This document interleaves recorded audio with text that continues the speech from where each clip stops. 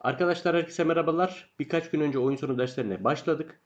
Bugün devam ediyoruz. Bugün size piyon oyun sonlarındaki en önemli kavramdan birini öğreteceğim. Opozisyon.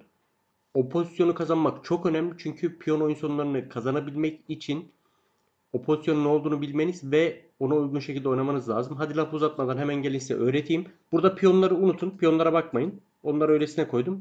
O pozisyon şudur arkadaşlar. İki tane şahın karşılıklı bulunması durumunda hangi şah diğerini sağa ya da sola püskürtüp ilerleyebiliyorsa o, o pozisyonu kazanmıştır. Şu andaki şahların bulunduğu duruma biz opozisyon yani opozisyonun Türkçesi muhtemelen karşılıklı bulunma durumu demek.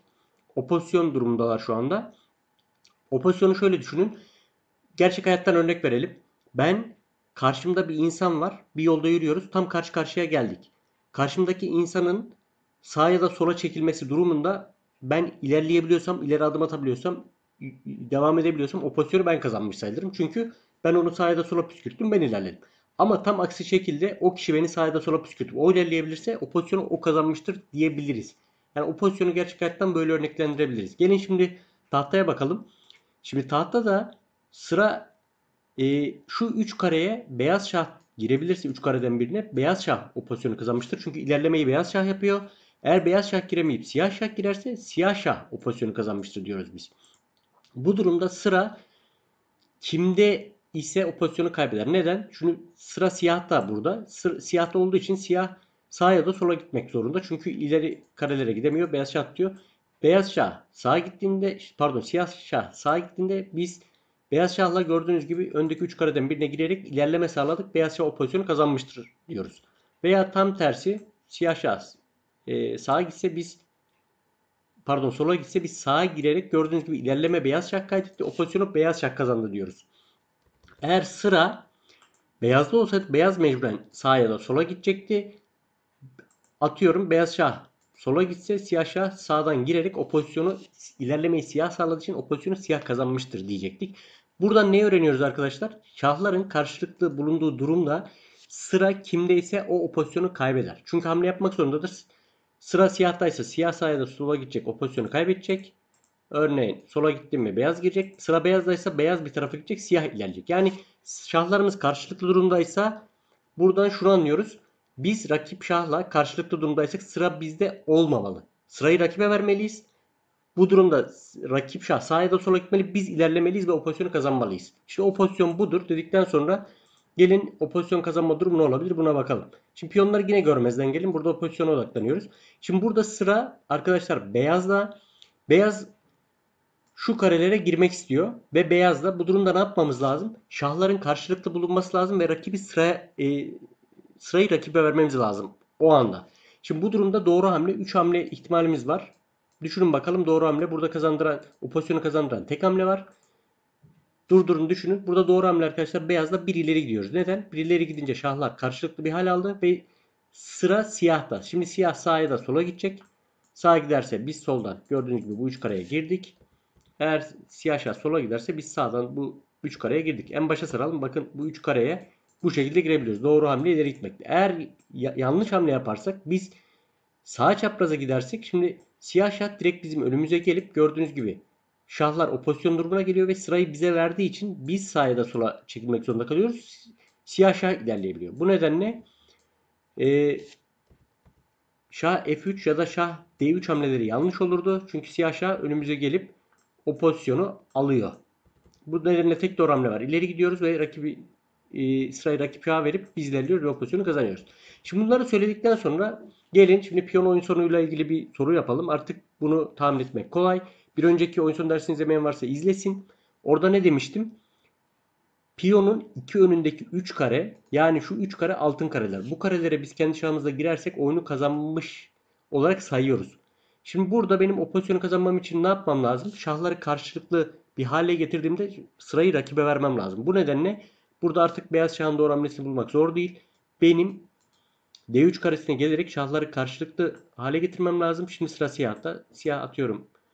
C5'e gitsin. E4'e giriyoruz ve artık altın karelerden biri olan pardon E4 karesine girdiğimiz için oyunu kazandık. Devam ettirelim. Mesela siyah şah bizi engellemeye çalışsın. Tekrar o pozisyonu kazanalım. İlerliyoruz gördüğünüz gibi. Siyah şah direnmeye çalışıyor. Burada Ee, bir miktar piyonumuzu ilerletelim. Mesela önümüze gelsin.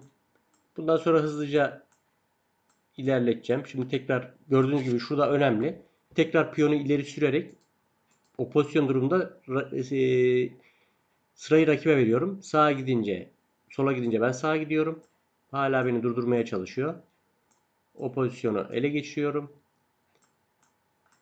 Burada e, şöyle bir durum var arkadaşlar. Piyon 5. sıraya ulaştığı zaman altın kareler piyonun bir önündeki 3 kare oluyor. Bu istisna piyon 2. 3. ve 4. sıradayken e, altın kareler piyonun 2 önündeki 3 kare piyon 5. sıraya ulaştığında gördüğünüz gibi piyon 5. sıraya ulaştı. Ve bu durumda piyonun önündeki 3 kare altın kareler ve biz şu anda o altın karelerde olduğumuz için şu anda aslında o pozisyonu rakip kaptı. Buna rağmen biz oyunu kazanabiliyoruz. Rakip şimdi önümüzü tıkadı. Sola gelelim. Önümüzü tıkamaya çalışsın ve gördüğünüz gibi piyonu sürdüğümüz anda artık şah kaçmak zorunda ve gördüğünüz gibi arkadaşlar vezire çıkarak oyunu kazanıyoruz.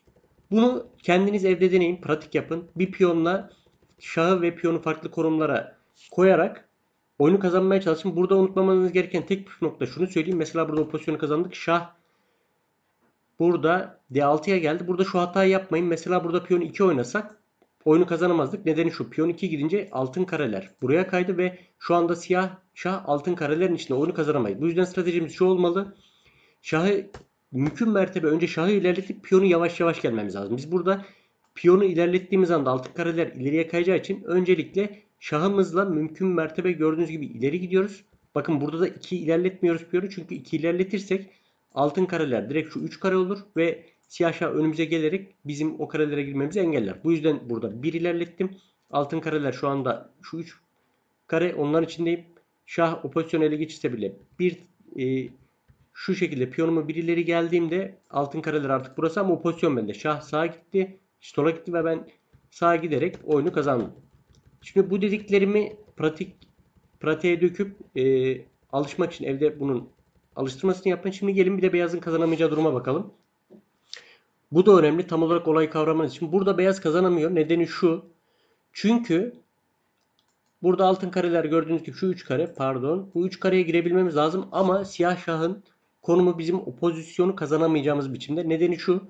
Biz bu kareye ya da bu kareye gelsek siyah şah direkt önümüze gelip o pozisyonu kazanıp sırayı bize veriyor. Örneğin buraya geldim. Gördüğünüz gibi siyah şah geldi. Karşılıklı duruyor şahlarımız ama sıra bizde olduğu için maalesef bu pozisyonu kaybediyoruz. Şahımız bir yana geliyor. Burada e, siyah şah hiçbir şekilde bizim altın karelere girmemizi engelleyecek şekilde her zaman önümüzde durabilir ve altın karelere hiçbir zaman giremeyiz. Bu yüzden oyunu da kazanmamız mümkün değil. Piyon ilerletmeye çalışırsak da hızlıca yapalım. Bir şekilde ilerleme kaydedemiyoruz.